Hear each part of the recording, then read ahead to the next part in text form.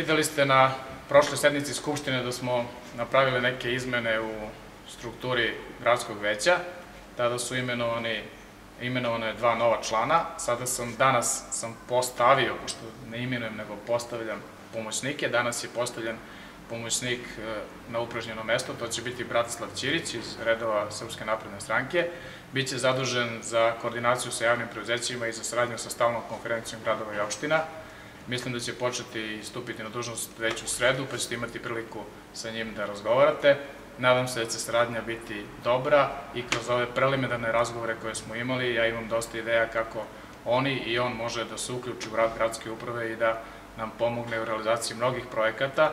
Između ostalog, na početku ove konferencije za stampo ste videli da imamo blisku saradnju sa Ministarstvom privrede, pa bih voleo da se ona možda i produbi, proširi i na neke nove projekte.